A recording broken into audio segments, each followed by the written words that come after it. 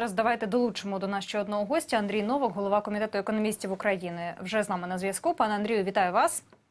Так, вітаю, добрий вечір. Так, ну давайте тоді з вас почнемо. Е, Як спрацювала ця історія з ковідною тисячою? І бачите, вона розширяється. Значить, уряд задоволений результатами. Ну, по-перше, е, сама ковідна тисяча безумовно значно пришвидшила темпи вакцинування, як і попередні введення е, заборони без е, наявності е, сертифікату про вакцинування. Тобто це такий народний метод е, кнута і пряника. І в принципі цей метод спрацював. Е, Темпи вакцинування значно пришвидшились в Україні, і ну навіть деякі періоди ми бачили досить немалі черги у пунктах е, вакцинування. Тобто, все-таки цей метод спрацював. Ну а те, що тепер йдуть постфактум ініціативи розширити перелік е, товарів і послуг, які можна е, на які можна використати ковідну тисячу. Ну насправді це не сьогоднішня ідея і не уряду, і не президента. Е, Ну, зокрема, і я тільки при появі ковідної тисячі зразу говорив про те, що неодноразово в багатьох ефірах про те, що треба розширити і дозволити як мінімум е, купляти ліки і оплачувати житлово-комунальні послуги. Ну от спочатку з'явилась е, реалізація купівлі ліків, а зараз вже говорять і про житлово-комунальні послуги.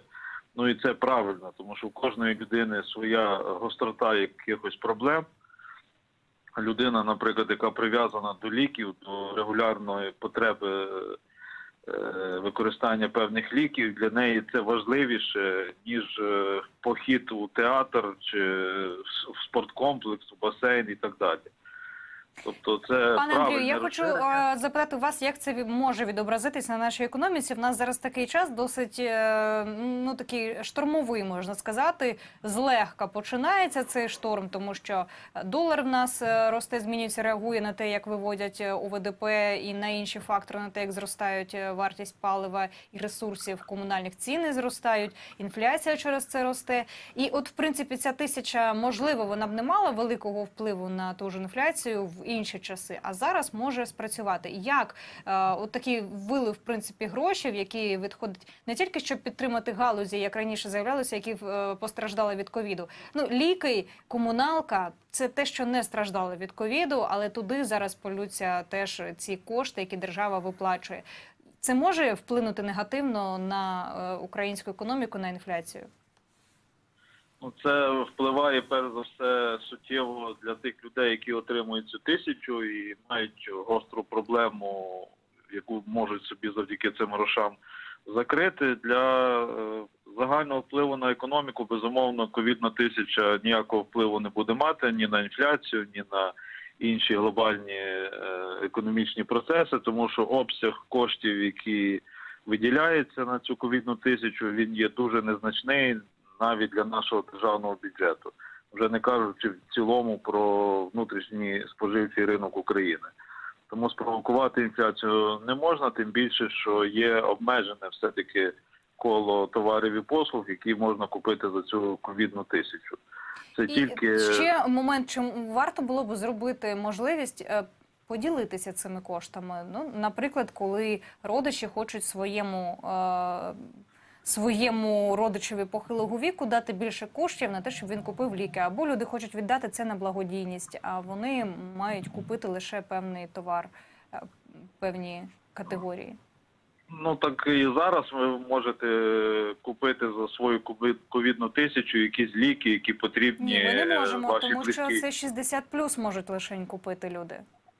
Ну, звичайно, що такі формальності треба познімати, тому що ну, є ліки вже зараз, особливо імпортні, які є дуже дорогі, і навіть в межах однієї тисячі не вистачає суми, щоб купити там, наприклад, е, якийсь пакет ліків, який потрібен там на місяць людині чи на два місяці. Тому, звичайно, такі обмеження треба познімати, але ми повинні розуміти, що, по-перше, ця програма подібна реалізується в Україні вперше. По-друге, під нею задіяна і програма Дія, і інші механізми, які застосовуються також вперше. І тому ідеально така новітня для України програма проходити е, ну відразу не може. Завжди будуть якісь проблеми, завжди буде зависання, завжди буде обмежене використання, е, відсутність даних ще повних. Тому треба бути готовим до того, що треба потерпіти і всі ці технічні моменти е, перечекати. Але в цілому, безумовно, що це програма позитивна, не можна її ніяк назвати негативною. І ну, єдине, що єдине, що бажання, щоб все-таки розширили перелік е, можливостей реалізації цієї ковідної тисячі. Почули вашу думку. Дякуємо вам за коментарі. Андрій Новак, голова комітету економістів України, був з нами на зв'язку.